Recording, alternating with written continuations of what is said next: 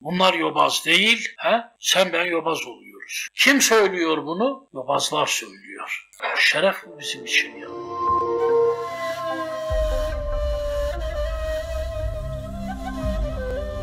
Evet bize idolümüzü soruyor Cenab-ı Hak. وَمَنْ nebiyyuke Senin ideal insan tipin, ideal insan modelin, usve-i hasenen kim? Kime baktın sen?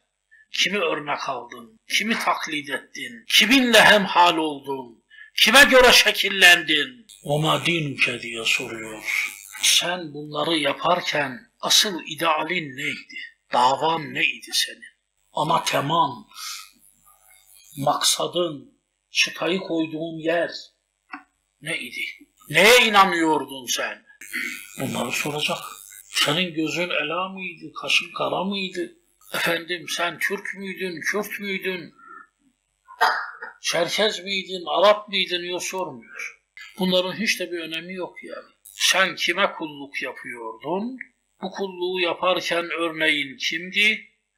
İdealin neydi? Sana bunları soruyor. İşte senin burada bulunma sebebin de bu. Bunların cevabını bulmak. Bunlara cevap bulmak için buradasın. Buradasın derken hem sohbette, şu anda burada yani, hem dünyada. Varlık sebebin bu. Bunun dışında yaptığın her şey, bu yapacağın şeyleri, bu gayeyi en mustakim bir şekilde, en mükemmel bir şekilde yapabilmen için yardımcı unsurlar. Bu vazifeleri yerine getirebilmek için sana verilmiş yardımcı unsurlar. Hiçbiri asli gayeler değil, hiçbir maksat değil. Hepsi araç. Ama sen bu araçları amaçla değiştirdiğinde, amacını terk edip araçları amaçlaştırdığında insanlıktan çıkıyorsun. Mürteci oluyorsun. Bak Cenab-ı Hak kimlere mürteci diyor biliyor musunuz?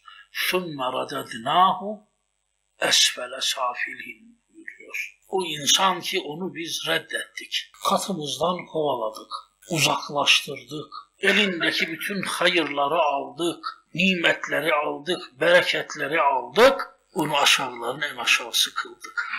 İşte mürteci bu. Gerici diyoruz ya, geri dönen bu. Öyle geri dönüyor ki bu, öyle yozlaşıyor, yobazlaşıyor ki Ulaike kel belhum adal buyuruyor Cenab-ı Hak. O kadar yobaz oluyor, o kadar yoz oluyor ki insanlığını dahi kaybediyor. Aşağıların aşağısı olmak yetmiyor. insanlığını da kaybedip tenzih ederim sizlere af buyurun. Hayvanlaşıyor. Hayvanlardan da daha adi oluyor ki Kur'an'da bunun örnekleri var. Kimilerini Cenab-ı Hak adi domuzlar, maymunlar, köpekler olarak halk ettiğini buyuruyor. Bakın ne hale geliyor.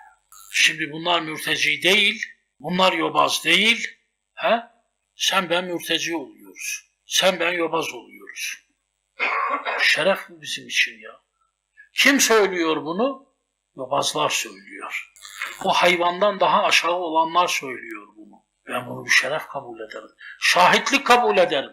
Cenab-ı Hak öyle bir duruma düşmekten bizleri, evladı eyalimizi, bütün çevremizi inananları muhafaza buyursun.